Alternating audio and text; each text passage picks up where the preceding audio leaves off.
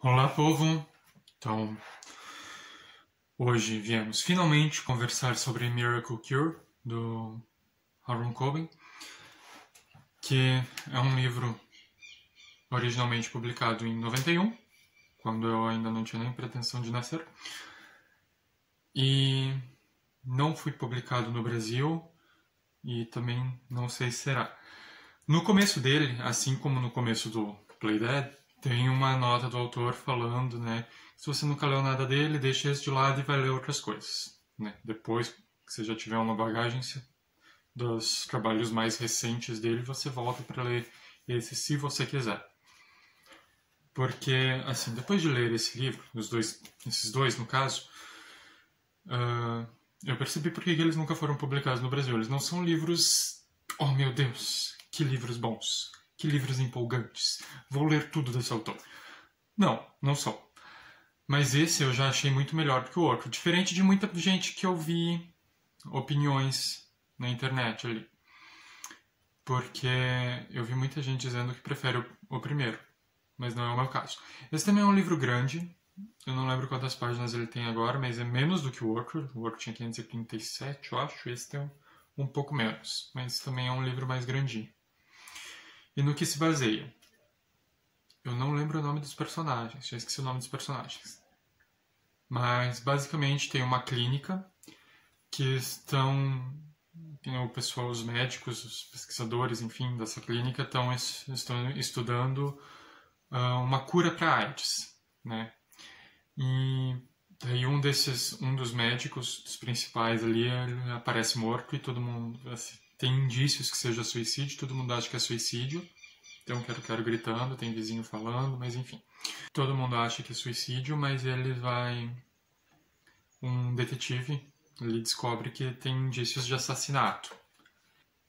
E eles percebem que as pacientes que estão sendo curados da AIDS por essa cura milagrosa do título, que eles descobriram nessa, nessa pesquisa, também estão sendo vítimas desse serial killer. Até tem a frase no, na capa, né, de quando quando uma esperança se torna um se torna um lugar na lista de um assassino, mais ou menos isso. Uh, e é isso. Daí a gente vai ter um jogador de basquete e a esposa dele, que são como protagonistas, e esse jogador de basquete descobre que ele está com AIDS. Isso em 91. Então a gente vai ter aquela coisa lá que aquela mancha na história da igreja, digamos assim, que uh, eles falavam que a AIDS era o castigo divino para a homossexualidade. Então, a AIDS era tida como uma doença de homossexuais, afins, né?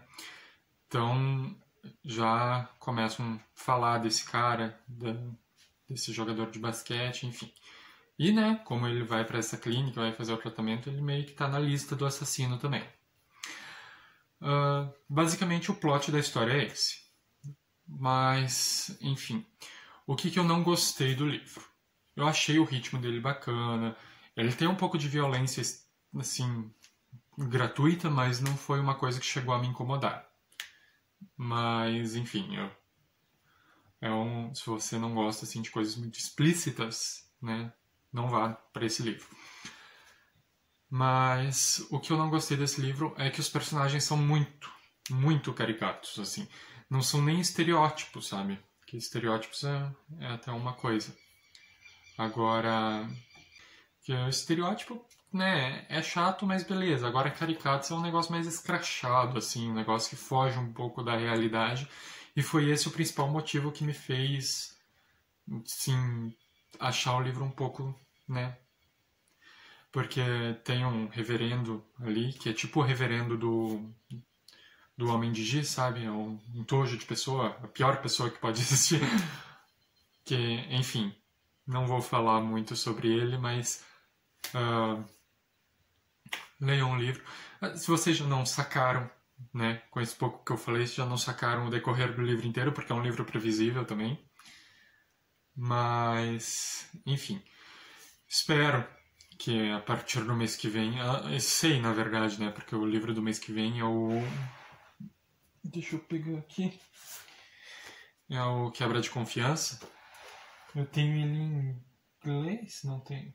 Não tem. Achei que eu tinha, mas não tem. Então, o livro do mês que vem é o Quebra de Confiança, que é um livro que eu já li, é um livro que eu gosto. Não lembro muita coisa dele, mas daí vou reler para a gente conversar semana que vem. Se você se interessou por esse livro, como eu disse, ele é um livro previsível, ele tem os personagens caricatos e um pouco irritantes, mas é um livro melhor do que o anterior.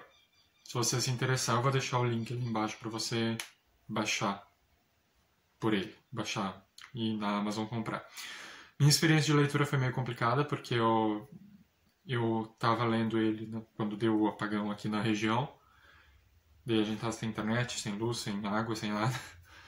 E daí não tinha luz para eu ler. O meu, o meu Kindle não tem luz embutida, ele é lá da sétima, oitava geração ainda. Tá ali firme e forte, mas ele não tem luz embutida. E eu estava acompanhando com o audiobook da Audible. Mas daí sem internet ficava meio difícil, né? Mas, enfim. Foi por isso um dos motivos que demorou a leitura. E o outro é que o livro é, né? E agora meu ritmo de leitura caiu um pouquinho porque eu tô com dois empregos e daí o tempo é um pouco mais escasso. Mas é isso.